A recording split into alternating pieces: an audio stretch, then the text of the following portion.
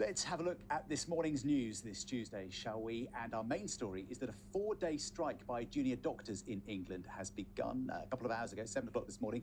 It's expected to be the most disruptive in the NHS's history. More than a quarter of a million appointments and operations could be cancelled, but doctors say they are striking for patient safety as well as pay. Well, let's get the very latest now from our health correspondent, Catherine Burns. Morning to you, Catherine. I know you've been talking to.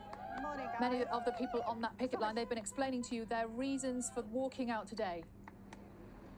Yeah, we have been talking about why they've been doing this because they're two hours in and they've got 90, more than 90 hours to go. This is a four-day walkout. So this decision won't have been taken lightly by people because, you know, they say they're worried about their patient safety, but for them, they really, really want to sort out pay. So they are asking for a 35% increase in pay to make up for what they say is 15 years of below inflation increases. So I'm joined now by some junior doctors who have gone out on strike, Abby and Ben. Abby, let's start with you. So how long have you been a doctor for? Uh, I've been qualified for three years. I qualified in May, June 2020. And how easy was it for you to decide to go out on strike? Really difficult. Um, in my head, there are, there are obviously two things that I think about. One is obviously I, I feel like I have a duty to my patients to provide them care, but I also feel I have a duty to my patients to take a stand because the NHS, as it is right now, is not functioning properly. Um, I can't remember the last time I had a shift where I got home and thought, yeah, like that was well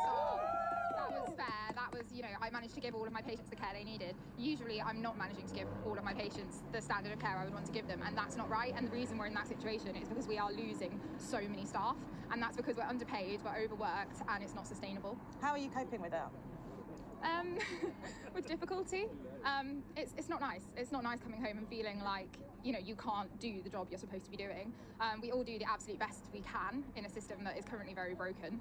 Um, but at the end of the day, like we are all running out of steam. We've been going a long time. We've been sprinting a long time, and the pandemic was obviously a lot for anyone to deal with. Never mind healthcare workers who are already dealing with difficult situations as it was. Um, so like we just keep going. But I mean, I, I guess the reality is a lot of people can't keep going, and that's why we're losing so many staff. Ben, you have only been a doctor for not even a year yet, Yeah, and yeah. already you're thinking about leaving the NHS. Why is that? Well, essentially, essentially, just echoing what you've said, it is.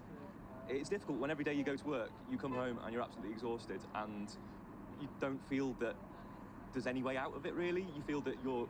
It's just getting more, more difficult, more difficult, more difficult every single shift, and for me, that's been really challenging. So I've had to take time off for my mental health um, with stress and anxiety, and I don't really see how I'm going to be able to get through even the first two years of training. Um, so I don't, I, I don't see a future for myself with any certainty because I don't know if I personally can survive in a system like this. Really. Thank you, Ben.